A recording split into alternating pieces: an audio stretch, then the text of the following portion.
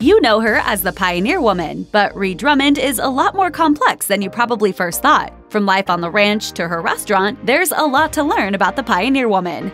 Watch even just one episode of The Pioneer Woman, and you might just assume that Ree Drummond was always interested in cooking and ranch life. But that actually couldn't be further from the truth. On the contrary, Drummond actually explained that her childhood obsession was more on the creative side of things. In an interview with Cowboys and Indians, Drummond explained that she never saw herself being a lifestyle guru as a kid. She said, I wouldn't say the lifestyle space was an obsession of mine growing up. I was a ballet nut, so that was my interest and my discipline. Speaking of obsessed, Mikhail Baryshnikov had my heart for the majority of my youth. Being into ballet and dancing is kind of shocking to see from a woman who seems so at home on a ranch. However, that's just one of the many surprising things Drummond has up her sleeve. Ree Drummond is a celebrity chef with her own cooking show on the Food Network and several other successful business ventures under her Pioneer Woman banner, but she doesn't seem to take herself too seriously. Oh. if you don't get a little queso on your chin, you're not doing it right. During an interview with CBS News, Drummond said that she doesn't see herself as a fancy chef, and she likes that. In fact, there's a reason why she doesn't make her recipes too complicated or lavish. She explained, I'm not a trained chef, and so I have a level of accessibility. I'm not going to show viewers anything that is beyond their skill. And also, I use a lot of ingredients that are pretty easy to get.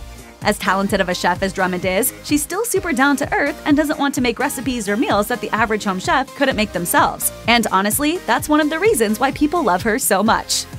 Drummond has a lot going on in her life. In addition to her successful career with the Food Network, she is also a wife and mother to four children. So to say she has a lot going on in her life would be an understatement. Still, there's one hobby that the entire Drummond family can agree on and have fun with, and it might not be what you think. Speaking to Parade, the Drummond family revealed they were all into fantasy football. All four kids, Ree and her husband Ladd, love to talk about fantasy football and take part in it. Drummond told the publication, If it weren't for fantasy football, I don't know what we'd talk about. Yes, Drummond grew up being obsessed with ballet, became a famous TV chef, and now loves to get down and dirty with some fantasy football. Oh, how things change. On basically every episode of The Pioneer Woman, Drummond talks about her husband, and she's even usually preparing dinner or some kind of meal for her hardworking cowboy. But you still might not know that the pair have a pretty epic love story, and one that sounds almost like a romance novel. During an interview with CBS News, Drummond explained that it was almost love at first sight when she met her husband for the first time. It truly was, for me, close to a lightning bolt. Truly, he just was different than anyone that I had ever been around before.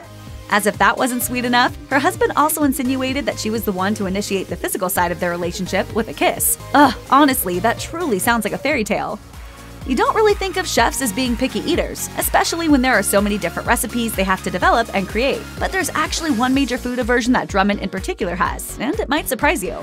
In an interview with Food Network, when Drummond was asked what one food she couldn't stand, she didn't have to think too hard. She responded, Anything remotely related to bananas, banana splits, banana cream pie, banana bread, I want nothing to do with them. It's hard to imagine Drummond isn't a fan of bananas, as they are a staple and a solid southern dessert, banana pudding. Honestly, it's pretty shocking that a celebrity chef would be so disgusted by regular fruit, but apparently Drummond's taste profile isn't what you'd expect.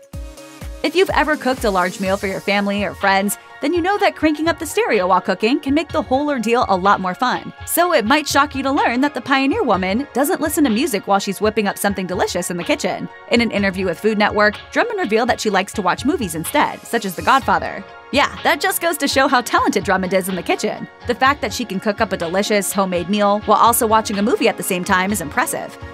Obviously, Ree Drummond is known for her show on Food Network, but Drummond doesn't just cook for her husband and children and friends and family. On the contrary, she actually opened and owns her own restaurant in the small town of Pawhuska, Oklahoma. Dubbed the Mercantile, this business is actually more than just a restaurant. It's a cute store, bakery, and restaurant all in one. For Drummond and her husband, though, opening the Mercantile was a bit of a gamble. Her husband said in an interview with CBS News, I told Ree two weeks before we opened, we might have lost our mind. I don't know if anybody's coming to Pawhuska. But the Mercantile has been a huge success, and people travel from all over to experience Drummond's cooking. Any fan of the Pioneer Woman knows that Ree Drummond and her family are all about the country lifestyle. Ree has made it perfectly clear that there's nowhere else she would rather live. No matter how famous she gets, it seems as though Drummond is perfectly happy to live out on the range in Oklahoma. Speaking to Parade, Drummond explained that she really appreciates her life in the country. She said, there are no skyscrapers, there's no traffic. That isn't all life is, hustle bustle. For some people, it would drive them crazy, having the silence and the clear view. But for me, it's what my soul needed. While Drummond acknowledged that life in the country wasn't for everyone, she truly felt at home among the fields, cattle, and of course, her cowboy husband.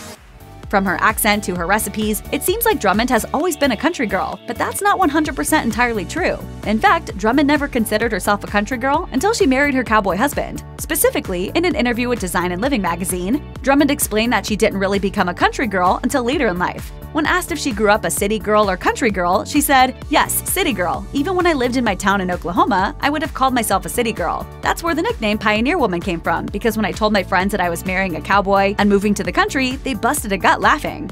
The fact that Drummond's own friends couldn't imagine her living in the country just goes to show how much she's changed over the years. Still, if you ask us, she seems like a natural on the ranch. In addition to being a wife, mother, professional chef, cookbook author, and restaurant owner, Ree Drummond also has an entire ranch to take care of with her family. Obviously, she doesn't do all of the ranch work, but she does pitch in when she can. So, to say her plate is full would be an understatement. But Drummond truly knows how to balance it all. She admitted to Design and Living magazine, It's hard. I do the things that I really enjoy. I get a lot done when I love doing it. I just became okay with going to bed at night and not having everything done. Despite all of the success that Ree Drummond has acquired during her career, she doesn't even really think of herself as a celebrity. As she told CBS News, she considers herself less of the famous type than, quote, a mom who cooks for her family. On top of that, Drummond also admitted she didn't like the fact that people say she has an empire. Though she has plenty to be proud of, Drummond is still so humble regarding her massive success. She told CBS News, I just think of the word empire as being in a position where you can just sit and reflect on everything you've done. I just don't have time to do that. I've got too much to do today. Even if Drummond has built what many in the food industry might describe as an empire, she's not about to call it that. As if a hit television show, several cookbooks, a home goods line at Walmart, and more weren't enough, pioneer woman Ree Drummond also became a children's book author. In fact, there are more than a few children's books Drummond has authored. First, she wrote several books based on her dog Charlie. And then in 2017, she started writing another series of children's books based on her life, called Little Ree. As Drummond told Design and Living magazine, it's sort of autobiographical. It's about my transition into the country, told through the perspective of a little girl. It's not my story. I didn't move to the country as a little girl, but it's a parallel to my story. Check out one of our newest videos right here. Plus, even more Mashed videos about your favorite TV chefs are coming soon. Subscribe to our YouTube channel and hit the bell so you don't miss a single one.